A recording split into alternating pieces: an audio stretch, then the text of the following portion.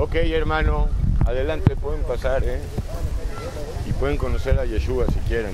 Ok, hermano, hermana, ¿ya tienes tu Biblia? ¿O estás muy preocupado eh, porque te apunten en la lista de la ofrenda? Eso sí me preocupa, ¿verdad? Michael Richard, lo extrañamos el jueves, pero como el jueves no hay dinero. Hoy es el día del aviador aquí. Y aviadoras también hay. Y bueno, esperemos que llegue el consuelo a la hermana Antonieta. El consuelo es el consolador, ¿verdad? ¿Tú con quién te consuelas? Con Cristo. Con Televisa, con Cristo, con el cristianismo, con el club de Facebook. ¿Con quién? Con Cristo. Con el Prosa. ¿Cómo estás? Gracias a Jesús. Hermano Elías. Internet, hermano. Con el Prosa. Gracias por venir. Pero hermano, hermana, ¿estás ya muriendo a la carne o todavía estás debatiendo acerca de fórmulas bautismales y del arrepentimiento y de la resurrección de los muertos? En otras palabras, estoy hablando conforme a Hebreos 6. ¿Qué dice en Hebreos 6? Que debiendo ser ya maestros, que el alimento sólido es para los espirituales, Hola, en silencio, hermano. los que viven en discernimiento, en juicio. Aquí está Ricardo, que tampoco vino el jueves y siempre pues lo sacamos a la luz, ¿verdad? Porque lo amamos. miren. Ah, pero traje dos hermanitos. Ah, ah, ah, qué bueno, qué bueno.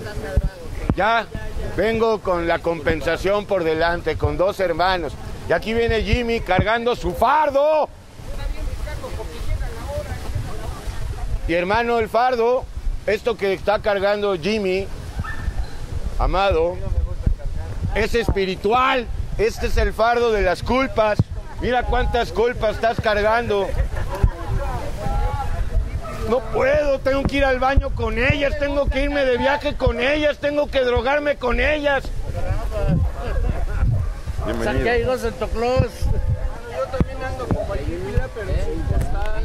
Acá está, hermano. Alguien te quiere descargar de tus cargas. Esas cargas a las que me refiero son las culpas. Pero Él no te va a dar. ¿Quién es Él? Yeshua, el Mesías, Dios hecho carne, el príncipe de paz, el admirable consejero, el consolador, el gran yo soy. La verdad, el camino, la vida.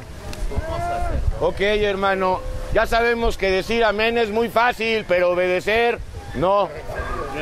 Amén y aleluya. ¿Cuántos hermanos están todo el día? Amén, amén, amén, amén. En el Facebook también, amén, amén. Solo dicen amén. Bueno, hermano y hermana, pues estamos de festejo, ¿verdad, hermano? ¿Qué, qué estamos festejando? ¿El santoral o la victoria de eh, las chivas o qué? Pentecostés. Pero a ver, explica eso. ¿Por qué este señor está festejando Pentecostés? Hermano Miguel. Salinas, gracias a Jesús. Jesús Díaz. Esto quiere decir, hermano, en español legible y entendible, que estar en Pentecostés es estar viviendo en juicio, ¿verdad? Y no hablando en lenguas. Macías tampoco vino el jueves. No hay lana, ¿para qué voy? No hay el estímulo. Bueno, hermano, pues hoy tenemos gran, gran manjar para el alma. Aquí venimos a nutrirnos espiritualmente para ganar más poder sobre Satanás. Porque a lo mejor ya tienes algo de poder sobre Satanás, pero no como debiera ser. Todavía se te escapan las groserías, las mentaditas de madre y de padre, las maldiciones, las palabras presuntuosas, yo soy, yo soy. Y hay muchos que se están tomando un coctelito, ¿verdad? En este momento de autolástima y de soberbia. Y también unos le meten tonayan por si fuera poco. Pues sí, vamos a sentir autolástima con Tonayan para que, pues para dimensionar las cosas, con esto de que vamos a dimensionar ¿Qué son esos lenguajes, hermano? Vamos a humillarnos. ¿Qué es humillarnos? ¿Ponernos eh, silicio? ¿No es vestirnos de silicio? ¿No es hacer penitencia? ¿No es irse al convento, verdad? No, entonces, ¿qué es? ¿Qué es humillarse? Obedecer. ¿En qué consiste la obediencia a Yeshua? Todo en una frase, vivir en amor como yo he amado, pero para llegar a eso hay un proceso. No es ya, porque decir, decir estas cosas es muy fácil, pero vivirlas no. Entonces, hermano, si no estás arrepentido, verdaderamente, tú lo sabes, pero también cualquier espiritual, es decir, cualquier hermano o hermana que tiene el Espíritu Santo, sabe quién está arrepentido y quién no. ¿Cómo lo sabemos, hermana? Por los frutos los reconoceréis. Así también, si quieres saber si eres un espiritual o un carnal, obsérvate a ti mismo.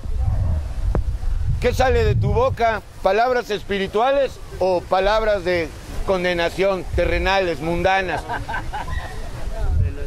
De condenación. Bueno, pero ni nos damos cuenta que con las mismas palabras nos condenamos. Qué delicado es esto. Bueno, pues vamos a ver, hermano, nuevamente a eh, pues un hermano, ¿verdad? Muy grande dentro de la iglesia, como todos, pero todos los grandes, hermano, es porque pues se han vuelto pequeños con Cristo, ¿verdad? Para llegar a, pues hermano, a ser alguien en la vida, como decíamos cuando éramos jóvenes, eso es una falacia, ¿verdad? Querer llegar a ser alguien, ¿quieres llegar a ser un hijo de Dios más bien?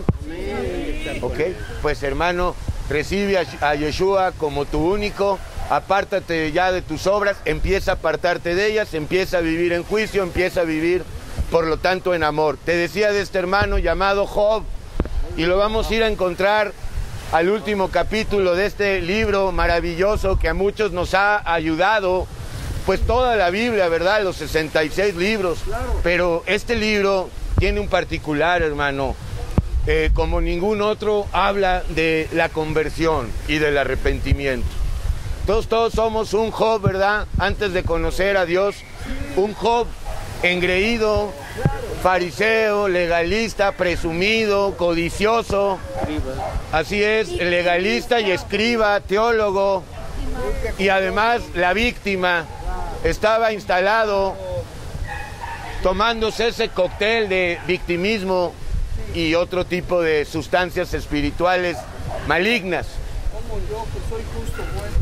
Y como todo comienza con el arrepentimiento, pues le ha parecido bien al Espíritu Santo, hermano, compartirnos esta palabra. Nada más del 42, del 1 al 6, porque lo que sigue lo leeremos con la ayuda de Yeshua en Gulgord, a donde también hemos visto que ya no van, hermano. ¿Por qué? Pues por muchas razones casi siempre no tengo tiempo, tengo que trabajar, ya es mucho, ya me cansé. ¿Ya te cansaste de Dios, hermano? Ya me voy al comedor. O a lo mejor quieres una iglesia legalista donde esté un pastor ahí en su propia opinión, con su pastor al lado, su esposa, gobernándote y manipulándote. ¿Ya estás en Job 42, hermano? ¿Aquí alguien quiere seguir la Biblia? Bueno, ok, hay muchos que quieren leer la Biblia, pero no quieren obedecer a Dios. Leer la Biblia, hermano, está muy bien, pero si no la lees con fe, si no la lees en oración delante de Dios, y todo esto para ponerlo en práctica, pues no sirve, hermano. Ya estás en Job 42 del 1 al 6, porque, hermano, vamos a ver aquí a este Job el arrepentimiento del verdadero. Desde luego que él pensaba que estaba muy arrepentido, ¿verdad? Como muchos aquí que creen verdaderamente que están arrepentidos, ya se convencieron, pero a ellos mismos, por no decir que el diablo los convenció, no, tú ya estás arrepentido, ya no te drogas, ya no eh, eres ladrón. ¡Rafa! Gracias a Jesús. Aquí está Rafa y alguien va a ceder un asiento para Rafa, el cual es un anciano de Dios y no por sus canas. Ok, hermano. Estamos festejando el Día del Aviador. Porque hoy eh, se juntan, hermano, los pilotos aviadores que pues cobran un sueldo sin trabajar. Qué delicado es eso, hermano. Bueno, hermano, acuérdate, lo que robó el ladrón lo vomitará. ok, hermano. Entonces vamos a ver a este joven, hermano, que finalmente después de 41 capítulos confiesa que es un miserable pecador, pero esta vez sí lo confesó.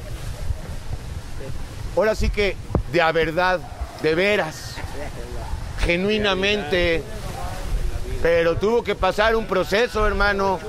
Ahora muchos usan esta cláusula de el proceso para justificar su pecado. Estamos en proceso. A ver una silla para Alex, que venció, me consta. Hoy, a ver una silla para Alex. Nadie, nadie se para para darle una silla a Alex.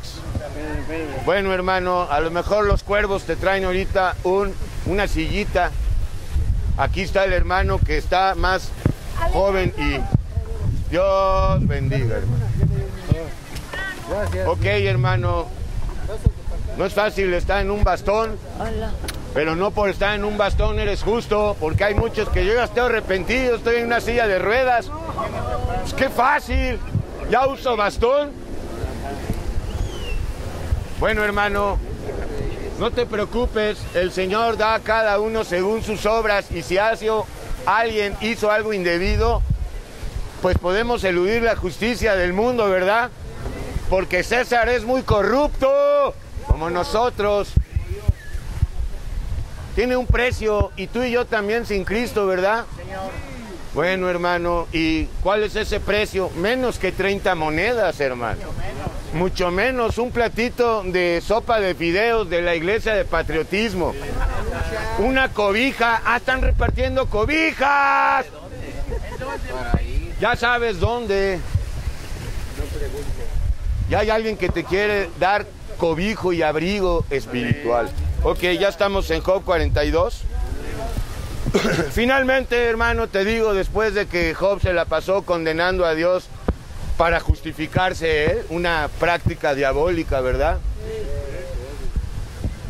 Después de, hermano, estar eh, pues hablando en este tono de victimismo, pues finalmente ya no le queda de otra más que, más que confesar.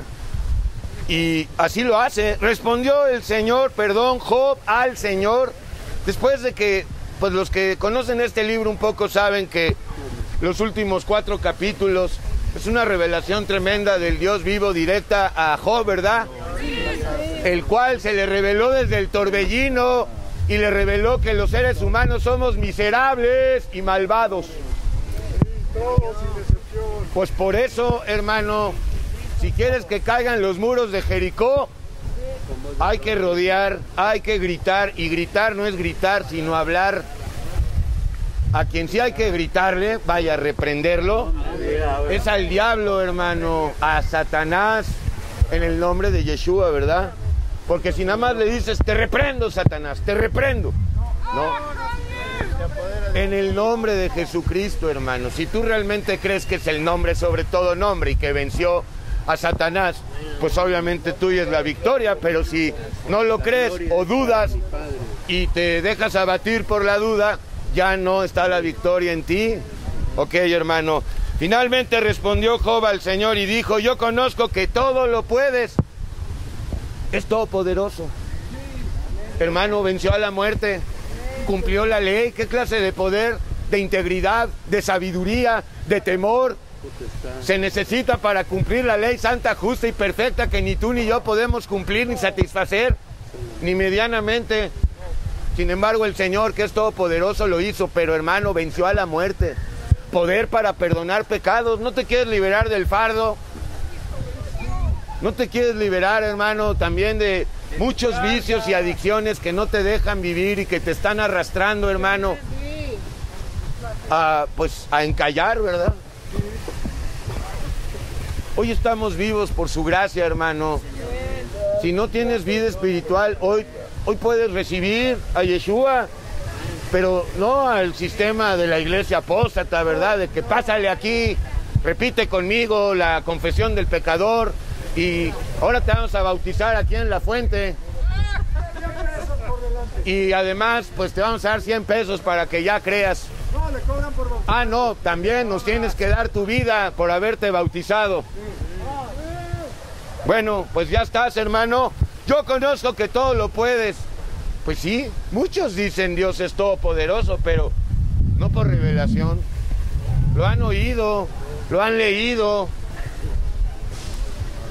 Y desde niños, ¿verdad? Oh, Diosito todopoderoso.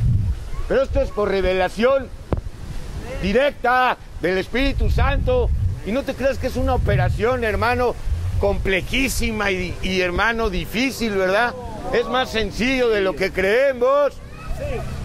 Además que el diablo pues nos las pone muy difícil, ¿verdad? O muy fácil, según le convenga al maldito. ¿Quién es el maldito? Satanás. Satanás. Porque nuestra guerra es espiritual, no carnal. Y el que odia a un ser humano, odia a todos, hermano. Ok, muy bien, hermano. Finalmente Job reconoce y conoce, ahora sí por revelación, el mismo Señor se lo dijo directamente y sobre todo por boca de Eliú, el cual es tipo de Yeshua. Y que no hay pensamiento que se esconda de ti. Y no solamente pensamiento oculto ante Él, imposible, ¿verdad? Tampoco nosotros nos podemos ocultar de Él. Es necedad, hermano, que sigas huyendo de la justicia divina. Levanta las manos, di soy culpable. Y en ese segundo vas a experimentar libertad de todas tus culpas. Porque sabes que Yeshua, hermano, con un solo sacrificio, es decir, su sacrificio en la cruz del Calvario, ha acabado de una vez por todas, hermano, con todas tus culpas y también con el poder demoníaco. Y aunque este sigue teniendo poder y soberanía, el diablo, ¿verdad? El diablo para la iglesia está despojado de su poder. La iglesia, hermano, está por encima de Satanás. Y que no hay pensamiento que se esconda de ti. Entonces imposible engañarlo. Déjalo. Acuérdate, hermano, que Adán y Eva se escondieron. Y no fue hasta que se presentaron que fueron restituidos, ¿verdad? Por lo menos con eh, pues la provisión de pieles que se les dio, ¿verdad, hermano? Lo cual ya era una promesa bendita del Evangelio de Dios, hermano, de Yeshua. Y que no hay pensamiento que se esconda de ti. ¿Quién es el que oscurece el consejo? ¿A qué consejo se refiere? Al de Dios, ¿verdad? ¿Quién es el que oscurece? Ah, espérame, pero vamos a verlo primero en nosotros, porque se corre el riesgo. No, pues el diablo. La culpa es del diablo. Sí, señor, el diablo tiene la culpa, pero tú y yo también. Y mientras no la reconozcamos, no hay absolución. ¿Por qué vas a salir del bote si no confiesas que eres culpable? Los asesinos seriales niegan sus crímenes hasta que ya no les queda de otra y aún han habido casos de que ni en el paredón los confiesan. Hermano, hay muchas maneras de oscurecer el consejo de Dios con nuestros razonamientos de miseria, con nuestro intelecto, con nuestra voluntad misma, nuestros planes oscurecen el consejo de Dios. Lo niegan. Por tanto, dice, fíjate, además dice, ¿quién es el que oscurece el consejo sin entendimiento? Sin embargo, Job se creía un entendido en todo, el más, además. Pero ahora reconoce que hablaba sin entendimiento. Había oído de Dios, pero no entendía. Y no vemos ese fenómeno en la iglesia apóstata, que repiten y repiten y repiten, pero no entienden y por lo tanto no dan frutos. ¿Qué dice el Señor? Que oremos con el entendimiento, que prediquemos con el entendimiento, que amemos con el entendimiento. Que vivamos con el entendimiento, hermano, completamente distinto a como en otro tiempo vivíamos, ¿verdad? No vivíamos por el entendimiento, sino por la emoción, la pasión, Y claro, pues a lo mejor nos jactábamos de grandemente entendidos, pero ese no era el entendimiento divino ni de las cosas divinas. Entonces hay muchas maneras de oscurecer el consejo de Dios. No viniendo a la congregación o sí viniendo nada más cuando es el día del aviador. Por tanto, yo hablaba lo que no entendía. Fíjate que es muy difícil no, hermano, pero le costó 41 capítulos a Job llegar a este punto. Cosas demasiado maravillosas para mí y lo vuelve a decir que yo no comprendía. ¿Por qué no las comprendía? Porque no estaba arrepentido. Él creía, era un religioso, nunca había tenido un encuentro con Dios, aunque lo tuviera en la bocota todo el día. Job llegaba puntual a la congregación, Nunca faltaba. hermano. Llegaba a barrer desde temprano. Pero todo lo hacía para su gloria. Soy Job. Este Job, hermano, engreído como tú y yo, llegó a ser muy estimado delante de Dios. Inclusive mayor que sus tres amiguitos de miseria. Cosas demasiado maravillosas. ¿Cuáles son? Pues la obra de la cruz, mi hermano. Porque la obra de la cruz es más maravilloso que todos los collados, mares, montañas, estepas, especies de animal, planetas, ¿verdad? No sirve frente a ese evento, hermano. Oye, escucha, le dice Job, te ruego, permíteme hablar. Te preguntaré y tú me enseñarás. Antes se creía el todo, ahora reconoce que es un ignorante. No importa que haya sido a la universidad, hermano, de Yale o de Cambridge. No importa que haya sido a la UNAM, hermano. No importa que hables idiomas. No importa que hayas estudiado siete años computación.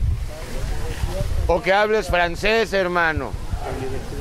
Ese conocimiento es del mundo, es muerte.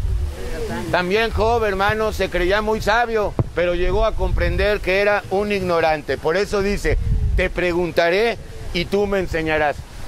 Pregúntale a Dios, hermano, si verdaderamente Yeshua es Dios, Él te lo va a contestar. Pregúntale a Dios si eres un pecador o no, Él te lo va a contestar. Pregúntale qué le da a los pecadores y pecadoras arrepentidos les da vida nueva, les da comunión, les da compañía, les dota de poder y autoridad sobre el enemigo, les da esperanza de vida eterna, les da, hermano, poder para echar fuera demonios, como la tristeza que te tiene acabado, porque se murió mi esposa, perdí a mi mascota, el mundo se cae. Porque nadie me ha invitado a la cena de Navidad y ya estamos a 29. No tengo dinero para irme a Acapulco. Y yo todos los años es mi tradición ir a Acapulco. Pues finalmente viene la gran confesión de Job por la gracia.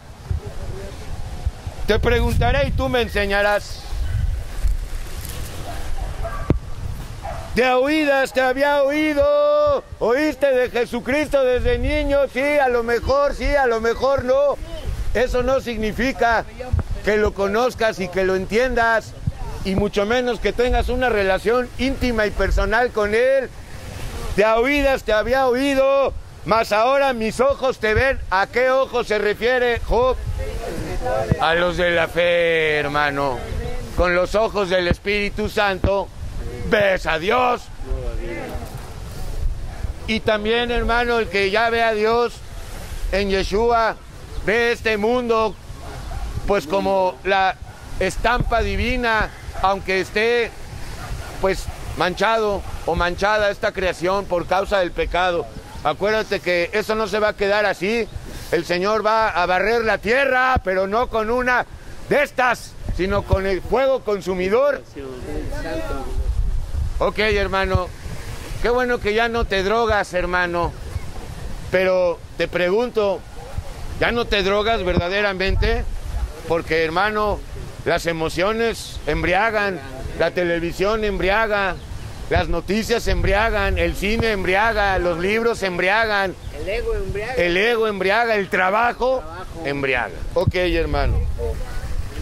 Por tanto, me aborrezco. Cuidado, ¿eh?